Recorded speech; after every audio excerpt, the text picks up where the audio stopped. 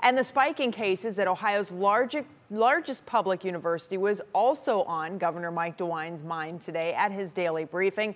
Tiffany Tarpley joins us live with that part of the story. Tiffany, I got to tell you, schools have been in now for a few weeks, and we know that there's an incubation period with this coronavirus. So I really don't think anybody's surprised by this, but it's one of those here we go kind of moments.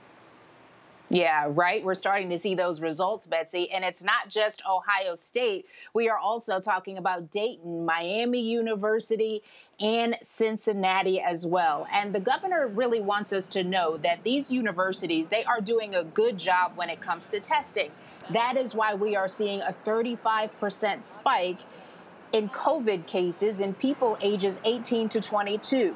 But he also says students ignored the large gathering rules, and now the schools and in some cases the counties they're located in are paying the price. Message to college students is the same message that presidents have had for the college students in, in pretty blunt terms, and that is if you want to stay here, if you want to stay in class uh, and have a college year, uh, things have to be different. Have to wear masks, uh, have to not go to large parties uh, have to keep keep the social distance.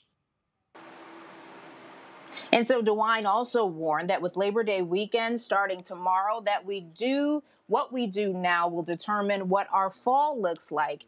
If you remember, we saw a spike in those COVID cases in July. That was after the 4th of July holiday. Well, we have to really think about the protocols here wearing that mask, social distancing. You know, Betsy says it's not necessarily about where you go, it's about what you do and how you do it. All right, Tiffany, thank you so much for that report. Certainly good information.